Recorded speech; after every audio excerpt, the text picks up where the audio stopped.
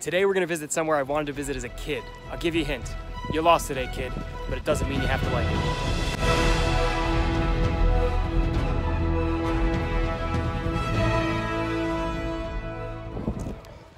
So if you guess Petra, you guess right. Right now we're at the entrance here. I think they call it the Siq. It's basically a huge gorge that's one kilometer. We follow this one kilometer gorge all the way to the inner part of the city of Petra. We'll get to see the Treasury, which is this building that you've all seen in Indiana Jones. So we're gonna go through this uh, little one kilometer Siq and see what the city looks like.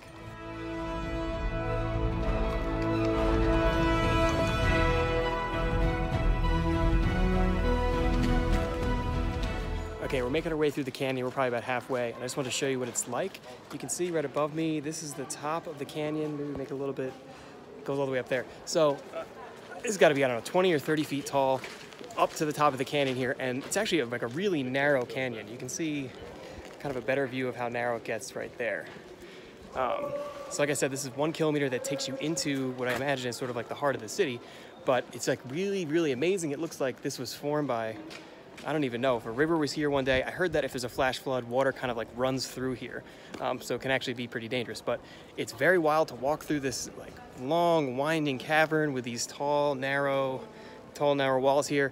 Uh, we're gonna check in again when we get towards uh, the center of the city. Hopefully we get to see the treasury.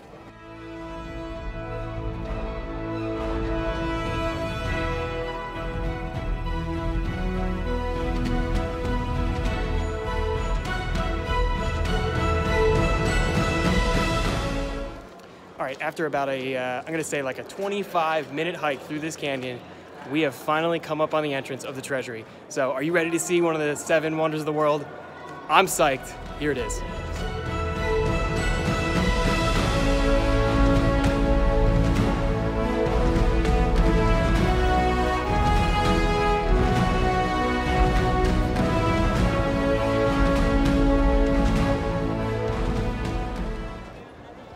Okay, we've made it. This is quite possibly one of the coolest things I've ever seen. If you ever saw Indiana Jones, you know that the end of the movie takes place here in the Treasury. Now, the Treasury is this building right behind me that's built into the side of the canyon. They say that it's about 2,000 years old. The city itself was built thousands of years ago, and at some point the city was lost, right? People either deserted it or they didn't know that it was, it was here any longer, it was no longer in use. And somewhere around 1812, I guess it's a Swiss explorer came through this canyon and found this, right? So this is the part of the entrance to the city is a treasury, but apparently there's much, much more to go as you go up this canyon. So if you can only imagine this guy who's an explorer, who's looking to find something, and he finds this cut into the side of a canyon, it's incredible. Uh, I don't know much else to tell you about this except to say that uh, it's 2,000 years old. It's pretty incredible, carved into the side of the mountain. And if I have to give you uh, one little fun fact, if you see the columns here, you see how smooth these columns are? If you've ever been to Washington, D.C. or any of those places with the monuments, you notice that the columns aren't smooth, right? They have these grooves that look like this, uh, and they go up, up, up the column. The reason for that is when they first started making columns and they were making them out of wood, basically this came out of, I think it was Egypt, what they would do is they would plane off the bark so they'd have this like fine wood as the column. But when they planed off the bark, they made these divots. And so those columns that were made of wood had divots in them. And when people came, uh, you know, to discover these cities and meet these people and share their culture, they saw the columns and they just replicated the way they looked. So it sort of uh, began as something that was more of function, and then it ended up being something that was just sort of fashion. But we're going to continue on through Petra. But this is one of the most incredible things I've ever seen. I watched Indiana Jones as a kid, and it was absolutely amazing. I loved every second of it, and I've always wanted to see this. But you can see the people behind me. They have camel rides. They have horse rides, everything that you could ever want, and they take you through the canyon, and you can even hike up to the top here, which I'm gonna try and do a little bit later, and you get kind of like a downward view of Petra. But we're gonna continue on and see what else the city has to offer. Okay, before we set off to go explore the rest of Petra, we're gonna actually hike up here, and we're gonna go to the top. I don't know if you can really see it, and you get an awesome like downward view of the treasury, which is supposedly really cool. So we're gonna hike up this this kind of like rocky thing up here, and uh, I'll meet you guys at the top.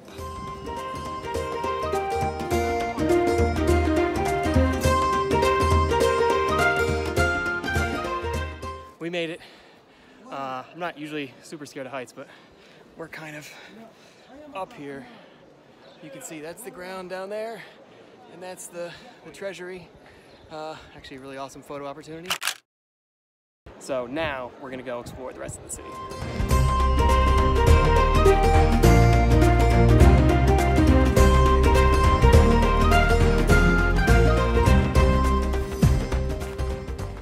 So walking through to get to the rest of the city, there's a ton of shopping here. Uh, you can see right behind me, there's just all these like little shops here that sell a bunch of these Petra trinkets, bunch of camels, hey guys.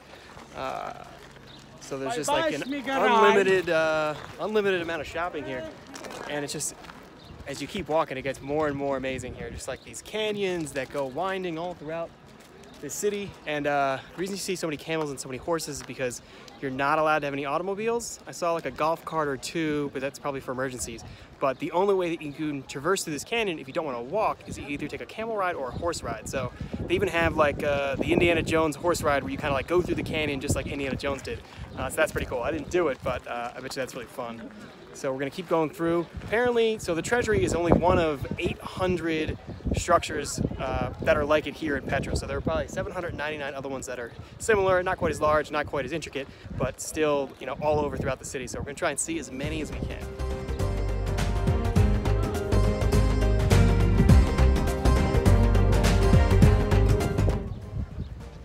Okay, just to give you an idea, we're walking along and it's just like this huge expanse. But right now we're gonna go right up to there and it's kind of like another miniature treasury and it's this huge view. I guess it's probably somewhere like, I don't know, 50, 75 feet up. Probably get a huge view of this alley down here. So we're gonna go hike up and uh, check it out.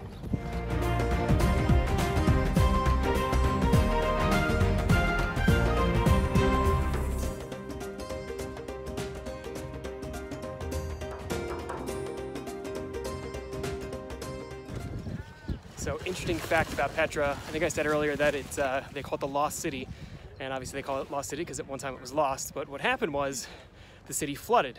So what actually made the city flourish was that they had access to water and they could transport things. But at some point, uh, the flooding became too cumbersome for the city and people either left or it was just completely lost uh, for thousands of years before it was rediscovered again.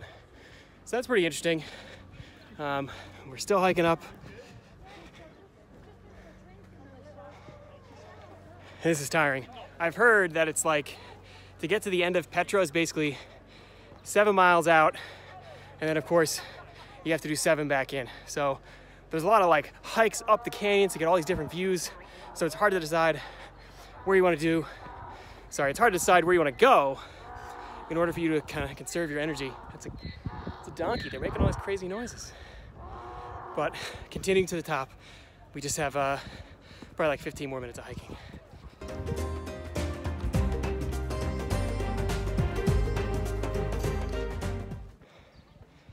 Okay, we made it. It's a lot of steps to get up here, but check out this view. That's pretty amazing. That's really awesome. Um, and then you hike up to the top and you get to another one of these sort of treasury looking things that's carved into the side of the mountain.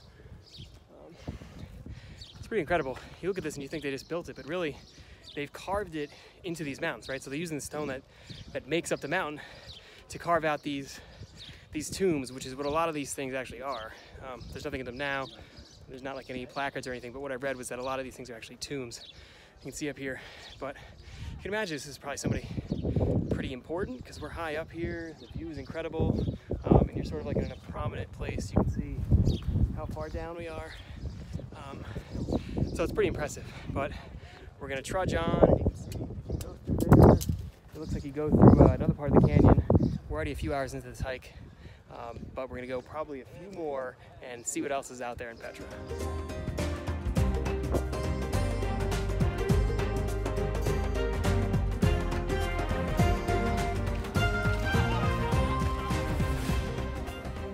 Moving on, now we're headed to the monastery. The views just keep getting better and better. I mean, we're just like out here in the this huge like desert. I don't even know how to describe it, but we're headed up to what they call the monastery. From what I've heard, it's uh, several hundred steps up to the top, but the, the view is spectacular and the monastery itself is spectacular. So we're kind of walking through here on these, they're not cobblestones, but this stone street uh, really starts to wear you out. Some of the parts are sand, so you start to get pretty tired.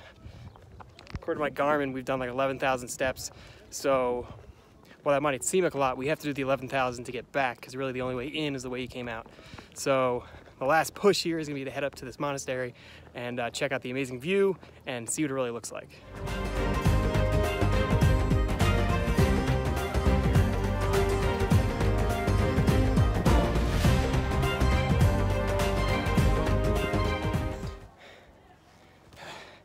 All these travel videos I watch on YouTube make this hike look a lot easier. We're at 500 steps, and man, we've hiked far. You can see we're like, the canyon dips down, down, down, down, down. We walked all the way up. And the whole way up, you're getting knocked over by these donkeys. This guy just stopped. Wants to say hi? Hey. See ya. Kind of scaring me. He's gonna bite me or he's gonna kick me.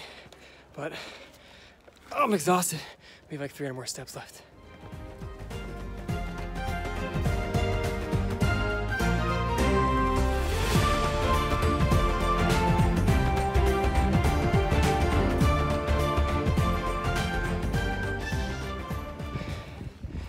Okay, we've made it to the top. This is the view.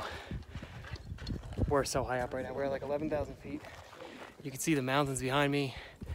We had to earn this. It took us a couple hours to get up here, but definitely, definitely worth it. Back here, you can't really see it, but it's a desert. It's Wadi Rum. Um, absolutely incredible. You can even see some people. There's a guy, there's like a tent out there. There's people who are living right on this mountain, who are just like living off the land. Okay, I lied. I'm not leaving yet. We hiked up just a little bit further, a few more minutes for the most incredible view that you will ever see. Look at this. We are high up in the mountains here, overlooking the desert. This is the highest point that we came to today. It's absolutely incredible. I'm gonna leave you with that. As always, if you want to stay up to date on these adventures, on these videos, don't forget to hit that subscribe button, ring that bell. I'll see you later.